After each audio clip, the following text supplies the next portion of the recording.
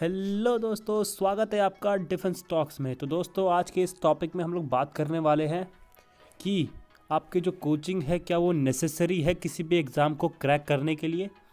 क्या कोचिंग जाना सही है? मैंने डिफेंस एग्ज़ाम इसलिए लिखा है क्योंकि मैं डिफेंस के रिलेटेड वीडियो बनाता हूँ, वरना तो ये वीडियो हर एक एग्ज़ाम के लिए एप्लीकेबल है, ठीक है? आपको मैं उन, उनके बारे में कुछ बताना चाहता हूँ। बहुत लोग को पता नहीं होता है और ऐसा आपके जो कोचिंग वाले हैं, वो लोग भी नहीं दिखलाते हैं, ठीक है? तो वो सारी चीज़ें आपको आज मैं इस वीडियो में बताने वाला हूँ और अगर आपको ये वीडियो समझ आएगा तो इस वीडियो को लाइक करके मुझे बताना। और दोस्तों, एक चीज़ मैं क्लियर कर दूँ कि मैं किसी भी कोचिंग के अगेंस्ट नहीं बोल रहा हूँ, बस मैं उनकी सच्चाई आपको दिखा रहा हूँ, ठीक है?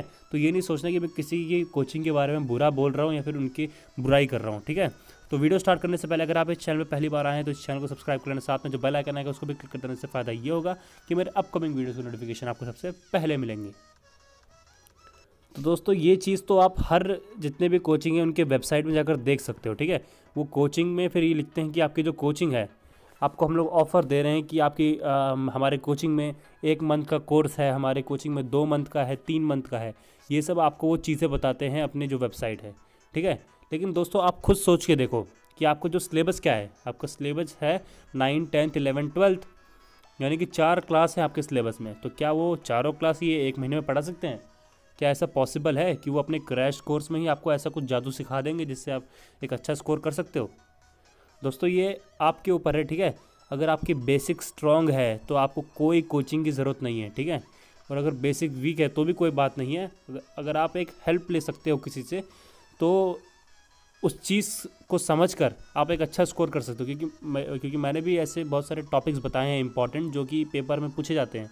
तो आप उसका हेल्प लेकर खुद सेल्फ स्टडी कर सकते हो। मुझे आप खुद सोचो कि आपको इंग्लिश कोई पढ़ा सकता है?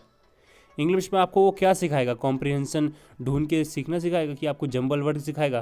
दोस्तों, ऐसा कोई कुछ नहीं सिखाता और इसमें सीखने की ज़रूरत भी नहीं है। ये जो हम लोग पढ़ते आए हैं, बस वही चीज़ हमको पढ़नी है। यानी जो हमने इलेवेंथ ट्वेल्थ ठीक है नाइन्थ टेंथ में जो हम लोग बेसिक नॉलेज जो हमने अचीव किया है, जो हमने गेन किया है, उसी चीज़ को तो अच्छी तरह हमें दिखाना है। और ये लोग बोलते हैं, हम लोग आपको ट्रिक्स दिखाएँगे, हम लोग आपको टिप्स देंगे सीक्रेट टिप्स होगा जो कोई नहीं जानता होगा। तो दोस्तों, ऐसा ट्रिक कुछ नहीं है ट्रिक आपके कंसेप्ट होते हैं, ठीक है?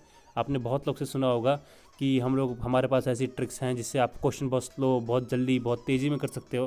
लेकिन दोस्तों ट्रिक्स पता असली में क्या होते हैं? कंसेप्ट अगर आपका कंसेप्ट स्ट्रांग है, अगर आपने मेहनत की प्रैक्टिस की है प्रीवियस करके क्वेश्चन सॉल्व किए हैं तो आप देखोगे कि हम आप लोग हर एक क्वेश्चन कर पाओगे बिना किसी को कोचिंग के, बिना किसी ट्यूशन के। अच्छा दोस्तों, एक और चीज़ के बारे में बात करते हैं, ठीक है?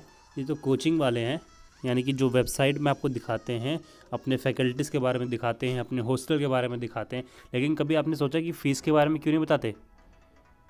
फ़ीस के बारे में अगर वो लोग दिखा देंगे ऐसा कुछ तो बच्चे आना ही बंद कर देंगे, और लोग एक आधी अधूरी फ़ीस यानी कि आपको कम से कम फ़ीस दिखाते हैं, लेकिन जब असली में हम लोग जाकर कोचिंग में देखते हैं तो आपका फ़ीस बड़ा होता है। इस चीज़ को भी समझते हैं अब। देखो दोस्तों, आज है ना, ये कोचिंग एक बिज़नेस बन चुका है, ठीक है? अब कोई भी अगर मैं डिफेंस के रिलेटेड बात कर रहा हूँ, ठीक है, अभी तो तो उसमें क्या ले लेते हैं लोग? थर्टी थाउज़ेंड फ़ीस ठीक है?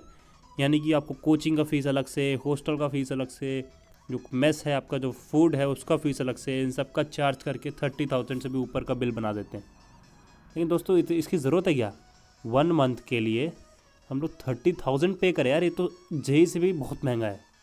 यानी कि जो सबसे टफेस्ट पेपर होता है जेई, उससे तो बहुत ज़्यादा महँगा है आपकी जो आई एस अकेडमी है आई एस की जो जो सिविल सर्विसेज़ तैयारी कराते हैं, वो आपकी फ़ीस वन लाख से ऊपर होती है, ठीक है? एक लाख से भी ऊपर फ़ीस लेते हैं वो लोग।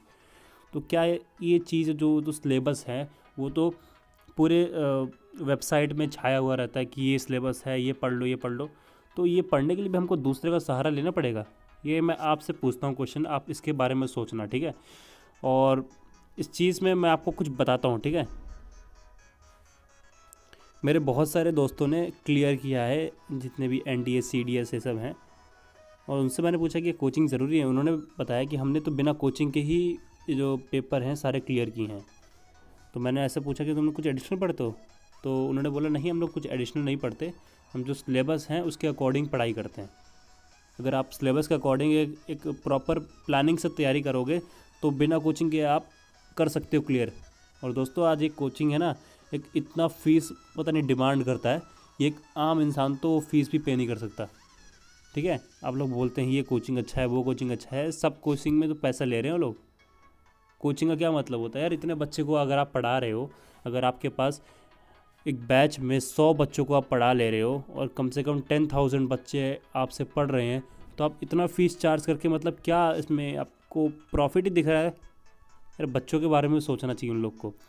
तो मैं बताता हूँ कि कोचिंग जाना बुरी बात या फिर अच्छी बात, ये ये तो आप सोचना, लेकिन बस आपको मैं ये सब चीज़ें बताना चाहता था। तो ये मेरा मेन पर्पज़ था ये वीडियो बनाने का। ठीक है? ऐसी बात नहीं है, बिना कोचिंग के भी क्लियर होते हैं और कोचिंग करके भी लोग क्लियर होते हैं। तो ये आपके ऊपर है कि आप किस तरीके से क्लियर करना चाहते हो, ठीक है? और अगर आपको ये समझ आया होगा वीडियो तो इसको लाइक कर देना शेयर कर देना अपने दोस्त के साथ, ताकि वो भी इस चीज़ को देखें। और अगर आप नए हो तो चैनल को सब्सक्राइब कर देना, ताकि ऐसे ही वीडियोस आपको हमेशा मिलते रहेंगी।